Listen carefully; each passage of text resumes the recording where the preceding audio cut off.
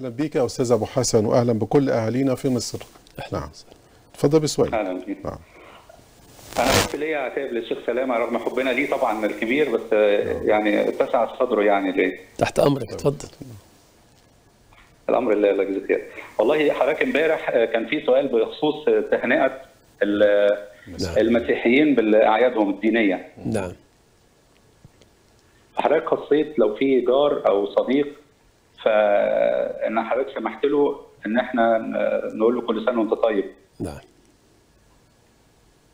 ف- فأنا أنا بصراحة يعني معلش بختلف يعني مع حضرتك وليا آه، يعني آه، إذا كان آه، جاري ده مثلا بوذي أو أو أي أي اتجاه مخالف لديني فأنا مش مضطر عشان آه، مثلا صلة قرابة حتى أو أو أو جيران إن إحنا يبقى في حاجة خاصة بالعقيدة.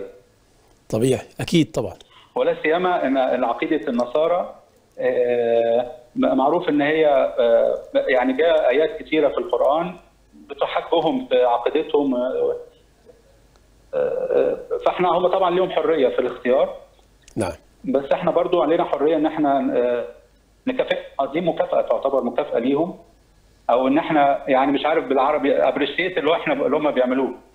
إقرار يعني كأنك تقرهم على ما يفعلونه. خلاص آه زي ما حضرتك يعني يعني يعني طبعا حشاك يعني إن مثلا لو مثلا حد واحدة بتغني أو واحدة بترقص وحد بيسقف لها أو بيقول لها انت كويسة في الموضوع ده أو حاجة زي كده. نعم نعم. ف فعشان هي قريبة منه أو أو جارته أو حاجة زي كده. نعم. جزاك الله خيرا. فانا بع- يعني واياكم اتفضل اتفضل خذ راحتك اتفضل أكمل. لا هي بس حتة العقيدة لأن إحنا زي ما حضرتك عارف نعم، إن أحسنت. عرى الإسلام عمالة تتاخد مننا واحدة ورا واحدة. صحيح وإحنا صحيح. ما فيش قدامنا غير العقيدة دلوقتي. يعني حتى ال ال ال الحاجات اللي هي الفروعات في الدين يمكن مش خلاص مش افيلبل دلوقتي. الحاجة الوحيدة اللي ممكن نمسك فيها دلوقتي العقيدة يعني ربنا يبارك فيك. جزاك الله كل خير. أخونا أبو شكراً. حسن. الأستاذ أبو حسن نعم. بص يا أبو حسن ربنا يبارك فيك ويجزيك الخير. أنا أوافقك تماما في كل ما تفضلت به. تماما. لكن أضيف إضافة بسيطة جدا وهي الإضافة دي اللي أنا كنت بتكلم فيها امبارح. نعم. شوفوا يا اخواننا الكرام ال- من سمات وعظمة الشريعة الإسلامية إن إحنا قبل ما بندي إجابة أو فتوى لسائل عندنا قواعد فقهية بنبني عليها الفتوى دي. القاعدة بتقول إيه؟ الحكم على الأشياء فرع عن تصورها. يعني إيه الكلام ده؟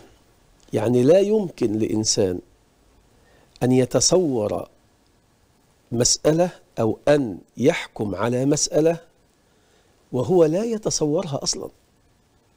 وهو لا يعرفها. نعم.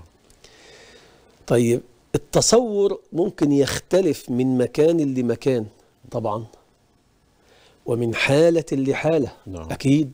ومن شخص لشخص. ومن نعم. شخص لآخر. نعم. نعم ودي من عظمة الشريعة الإسلامية. نعم. من سمات الشريعة الإسلامية إن التصور لما بيختلف من حالة لحالة ومن مكان لمكان ومن شخص لآخر بناء على ذلك تختلف الفتوى. فأخونا الآن بيقول لا أنا مش عايز. نقول له صح أنت حر. كلامك أنا لا يفهم من الكلام إن هذا إلزام لازم نقول كل سنة لا مش لازم. الأخت بتسأل امبارح بتقول زمايلها في العمل نعم. يبادلونها التهنئة. في أول رمضان واخد. بالك إزاي؟ وهناك عيد ولا توجد رمضان. بينها وبين زملائها في العمل أيضاً. أي مشكلة خلافات في الأمور الاجتماعية وهي لا تقرهم على دينهم. وهم لا يقرونها على دينها. نعم. في مساحتين في المسألة دي. مساحة الدين كل واحد له دينه. المساحة الأخرى اللي هي مساحة العلاقات الاجتماعية. نعم. والإنسانية ودي مساحة مشتركة بين المسلم ومع المسيحي مع البوذي مع الملحد مع دي المساحة المشتركة اللي هو رايح جاي معاه دخلوا هما الاتنين ياكلوا في مطعم واحد ركبوا هما الاتنين مواصلة واحدة عايشين هما الاتنين بيتحكموا بقوانين نعم. دولة واحدة. عايده في ففي في مساحة من العلاقات الإنسانية والاجتماعية. المساحة دي بقى يعني مثلا لو كان مريض نقول له ألف سلامة عليك. آه ينفع. وندعي له بالشفاء ممكن. بل نزوره. ونزوره. نعم. واخد بالك إزاي؟ ال ال لو عنده حادث ابنه مات ولا حاجة أروح أواسيه نعم أواسيه دي المساحة المشتركة اللي بيننا وبين بعض طالع نازل نعم. عليه وهو معايا وجاري في نفس العمارة ولا لازم- معايا في لازم الشغل أظهر إنسانيتي واخد فضيلة بالك الشيخ ف- وسماحه الدين يعني. لكن آه. فكرة إن أنا أتصور إن الدين يأمرني أن آه، آه، أتعامل مع الآخر باعتباره آه، آه، يعني آه، غير مرحب به طب هيخش الإسلام إزاي؟ لا غير مرحب. به دي مسألة مش في الدين خالص أصلا. آه طبعا. يعني لا يوجد في الدين إن إحنا موجودين والإسلام وبس واللي مش عاجبه ي... وطب والباقيين؟ يطلع يقول لك ده إحنا لازم نضيق عليهم ولازم مش عارف نعمل يا إخوانا هذا كلام غير صحيح. واخد بالك إزاي؟ وحتى وإن كان ورد وفي الرواية ضعف إلا أنه في سياق معين في سياق مختلف خالص. لأنه يا أستاذ أكرم غير المسلم ده الذي توافقت عليه عقيدة أهل السنة وفقهاء المسلمين جميعا إجماع يعني إن غير المسلم ده حاجة من ثلاثة إما واحد ذمي يعيش معي في وطني الذي أعيش فيه نعم. وهو ملتزم بقوانين وتعاليم والأمور التي ألزمته بها الدولة زي ما أنا ملتزم. نعم. إحنا الاثنين عايشين في شارع واحد في حتة واحدة في بلد واحدة. واخد بالك؟ خلاص؟ ده ده ده شكل. واحد تاني مستأمن ده مش معايا بلدي بس ترك بلده وطلب إنه يدخل بلدي وأنا وافقته.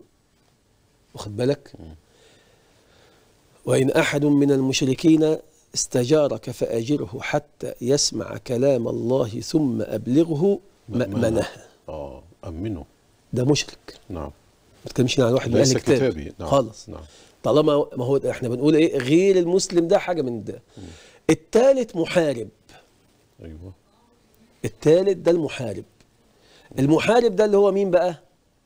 اللي هو الذي بذل ماله ونفسه وهيأ نفسه وانتقل من بلد إلى بلد ليحتل بلدي وينتهك عرضي ويحتل مقدساتي ويبارزني العداوة ليلا ونهارا مبارزة حقيقية. زي بالضبط المحتل الصهيوني الذي احتل بلادنا العربية وفي القلب منها فلسطين. نعم. ده محتل. ده حكمه ده لا لا لا نسالمه ولا نوده ولا نقول له كل سنة وانت سنه طيب مين ده؟ أنا أقول له واحد لأنه صهيوني مجاهر بالعداوة. في عيده ولا مع اعياده زي نعم. ما بيحصل الآن في نعم. بعض الدول العربية للأسف الشديد تقام أعيادهم في بلاد عربية ويتبادلون التهاني؟ طبعا لا. ده ده محارب. ده محارب. هيقول لك يا شيخ ما أنا لا أقر بدينه. أيوه يا سيدي المشكلة مش مشكلة عقيدة ودين. ده محارب ده معتدي ده محتل. صهيوني. ما اقولوش آه، آه، أنا هو ده بقى اللي أنا اقره في حربه عليا. واخد بالك؟ طيب واحد بقى تاني موجود في البلد معايا.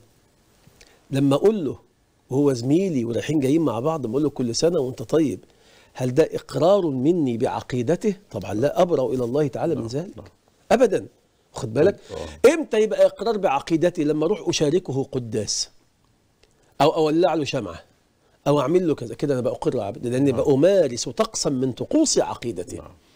أما فيما يتعلق بالأمور. العامة المساحة الاجتماعية آه طبعا أقول له كل سنه طيب ورايحين وجايين مع بعض.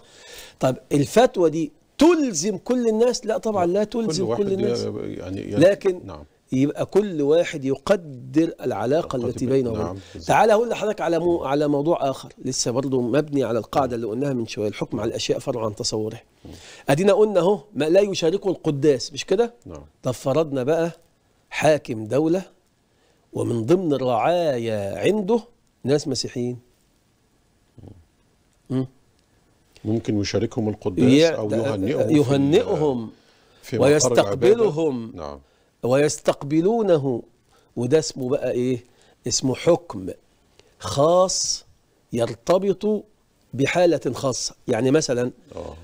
فلان رئيس دولة فشاركهم التهنئة. السنة اللي بعديها ما بقاش رئيس دولة. لا يشاركهم التهنئة. إن الوضع اختلف شفت بقى؟ له. نعم يبقى. إحنا في فرق ما بنحكم على منصب مم. ليه حاجة اسمها السياسة الشرعية؟ ما هو دي حكمه. نعم. خد بالك إزاي؟ وبين بنحكم على شخص. أفعال الأشخاص غير أفعال أصحاب المناصب المنصب. واخد بالك إزاي؟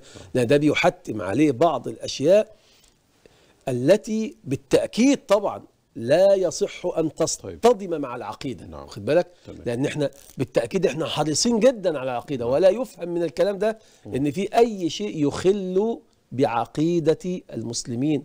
نحن لا نقرهم في عقيدتهم. نحن لا نقرهم حتى وإن كانوا يعني آه، انح- انحرفوا عن كتبهم وأصبحوا أقرب ما يكون إلى الشركيات. نعم. نحن لا نقرهم في هذا ولا في ذاك ولا نقر البوذي على بوذيته. نعم. لكن لو كنا هناك في علاقة مساحة اجتماعية آه، ده مسألة مختلفة تماما يعني. طيب يعني حضرتك كما ذكرت فضيلة الشيخ يعني إذا أعلن وجاهر آه، إليك بالعداوة والحرب يعني آه. لابد أن نقاطعه بالضبط. طب يعني آه، طبعا أنا لا أتحدث عن هذا الموضوع الذي تحدث عنه الأستاذ أبو الحسن ولكن إذا كان هناك فئة من الناس يعني آه، لا تجاهر بالعداوة ولكن تكن لك العداوة في قلبها آه، وأيضا تسعى في الخفاء إلى الإضرار بك سواء على مستوى من بعيد أو من قريب ولكن يعني لا تجاهر بذلك. شوف حضرتك العداوة نفسها منازل أو درجات. كويس؟ نعم. في عداوة واضحة صريحة زي ما قلنا واحد جاي بيحاربك عشان يطلعك من بيتك. من أرضك مثلا. أو هي حرب معلنة صريحة آه. وإحنا لا نقر وجودهم في بلادنا ابدا ولا نقر التطبيع معهم. حلو كده؟ دي عداوة. دي, دي عداوة ظاهرة. آه. في عداوة أخرى خفية. نعم. العداوة الخفية دي يعني كحال المنافقين عشان بس نبسطها لسه هقول لحضرتك آه، أهو. نعم. يشترك فيها المسلم ويشترك فيها غير المسلم. آه. ما أنت ممكن تلاقي ابن عمك بيخطط وبيكيد وبيعمل ياخد الميراث مثلا. ضدك. مش كده ولا إيه؟ عداوة دي؟ طبعا. ويظهر لك خلاف ذلك. المنافقين كانوا مع النبي صلى الله عليه وسلم في المدينة كده. كانوا يروحوا يصلوا وراه طول النهار وبعدين بالليل يروحوا يقعدوا مع اليهود عشان يخططوا إزاي يقتلوه. نعم. الله. ولما تمكن النبي صلى الله عليه وسلم من رقاب بعضهم المنافقين نعم. وقال له سيدنا عمر دعني أقطع رأس هذا المنافق يا رسول الله. على عبد الله بن أبي بن سلول. ولما تبين لرسول الله مكر المنافقين ده أعلنوا. ده وقفوا قفلوا المدينة وقالوا لئن رجعنا إلى المدينة ليخرجن الأعز منها الأذل. نعم. كانوا يقصدون بالثانية رسول الله صلى الله عليه وسلم. نعم. في أكتر من كده بقى؟ نعم. العداوة هي بقت معلنة كمان. ولما قال للنبي صلى الله عليه وسلم لما قال له آه، دعني أقتل قال لا. لا يقول الناس محمد يقتل أصحابه. طيب. رغم أن سيدنا محمد يعلم أنهم يكونون له ال- العداوة والكره والحرب في الخفاء. والتخت- بالظبط. نعم. تعال بقى الناس تانية. فرق النبي صلى الله عليه وسلم بين التعامل معهم لأنهم كانوا يحاربونه جهارا نهارا. وبين ناس تانية يهود برضه ما كانوش بيحاربوه واخد بالك؟ ولكن كانوا يكونوا له العداوة. كانوا بيكونوا له العداوة وكل حاجة. بل ممكن يؤذوه في الخفاء. ما كانش يعرف بقى إذا كانوا هم دول ولا غيرهم. آه. فكان النبي صلى الله عليه وسلم لا. يتعامل إلا مع من يظهر له العداوة خد بالك نعم. ولذلك لما نزلت الآيات اللي بيها اللي بيها نستدل بجواز تهنئة غير المسلمين مع عدم المشاركة وعدم الإقرار عقيدة في طقوسهم لا ينهاكم الله عن الذين لم يقاتلوكم في الدين ولم يخرجوكم من دياركم. أن تبروهم وتقسطوا إليهم. خد... عايز أسألك سؤال. لم يقاتلوكم في الدين. مش هي تحمل معنى الإخراج من الديار؟ نعم. والعكس أيضا صحيح. نعم، نعم. يعني لما يقول لي قاتلوكم في الدين ما هو بيقاتلني ليه؟ وعشان يحتل بلدي وعشان يغير ديني. طب بيطردني من بيتي ليه؟ ما هو عشان مش كده؟ نعم. كان ممكن الاثنين دول يعبر عنهم بإيه؟ أعدائكم نعم. مش كده؟ لكن لم لا. ينهاكم الله عن أعدائكم. نعم. مش كده؟ نعم. أو لا ينهاكم الله عن الذين لم يعادوكم. اختيار رب العزة سبحانه وتعالى لهذا التفصيل ليه؟ لأن العداوة في منها معلن وفي منها خفي. ربنا بيقول لك دلوقتي اللي بيعلن لك العداوة حاربه. نعم. حاربه. نعم. الذي لا يعلن لك العداوة لا ينهاك الله عنهم أن تبروهم وتقسطوا إليهم. لا ينهاكم الله نعم. أن تبروا وتقسطوا من لا يظهر لكم العداوة. طب هو بيخفيها؟ والله إن ظهر لنا شيء منها يبقى خلاص. لكن هذا الأمر عشان ينضبط يا أستاذ أكرم لأن إحنا لو فتحنا الباب في مسألة اصله بيخفي لي العداوة فده يسمح لي بقى إن أنا إيه أروح أتعامل معاه زي زي التاني اللي بي بيظهر لنا الحرب نعم. هتبقى فوضى. وحضرتك ذكرت مثال جميل جدا مثال الرسول عليه السلام صلى يعني وسلم. كيف تعامل مع الذين أجهروا له العداوة وكيف أيضا تعامل مع أعدائه رغم أنه يعلم أنهم أعداء ولكن بالضبط. لم يجهروا له العداوة. صحيح، صحيح. بل أمر أنه ينهوا عن قتل هؤلاء. نعم نعم, نعم. صحيح. جزاك الله كل خير الله. الشيخ.